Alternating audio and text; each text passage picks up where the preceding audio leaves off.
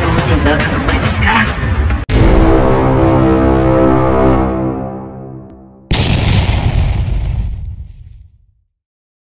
Ken mengusir Mama Anita, Love Story The Series episode 607.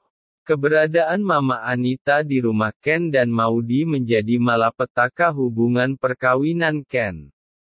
Mama Anita kerap melakukan teror terhadap Ken.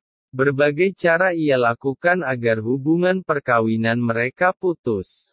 Mama Anita berencana menjodohkan Maudi dengan Dr. Dilan. Ia lebih memilih Dr. Dilan daripada Ken dengan alasan Dr. Dilan lebih nurut terhadapnya.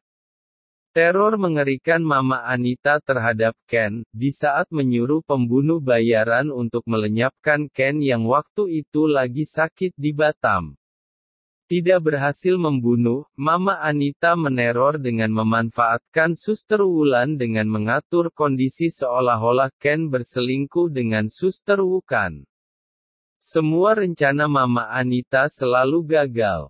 Sampai akhirnya Ken mengetahui kebusukan Mama Anita. Dan pada akhirnya Ken memutuskan untuk mengusir Mama Anita keluar dari rumahnya.